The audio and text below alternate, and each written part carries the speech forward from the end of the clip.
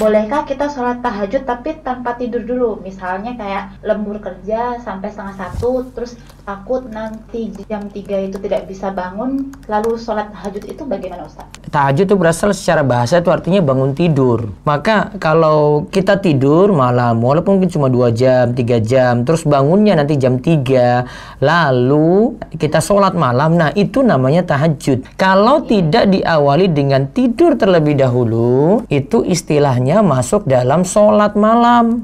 Sama-sama pahalanya sama, cuma istilah saja.